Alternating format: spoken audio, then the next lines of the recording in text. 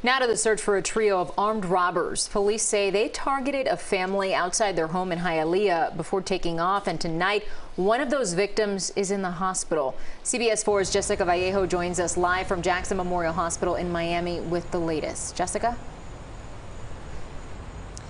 That's right. Tonight, one of those family members does remain here at JMH. He did suffer a minor injury to his arm, but he is being treated right now and is expected to be okay. But right now, let's go straight into Chopper 4 aerials from the scene earlier today. This, as you can see, was very, very active.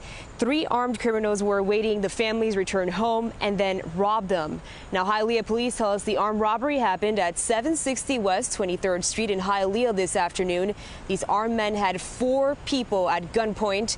And while they went inside their home and took the family's belongings, the person who remains in the hospital was cut by shattered glass as he ran inside the home once those men ran off. Now, at the scene, we did speak to a relative, and he simply told us he was shocked.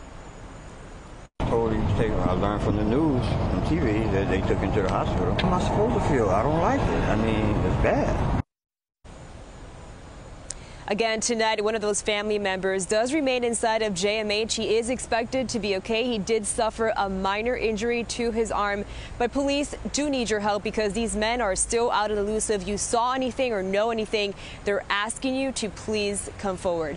I'm live in Miami, Jessica Vallejo, CBS 4 News tonight.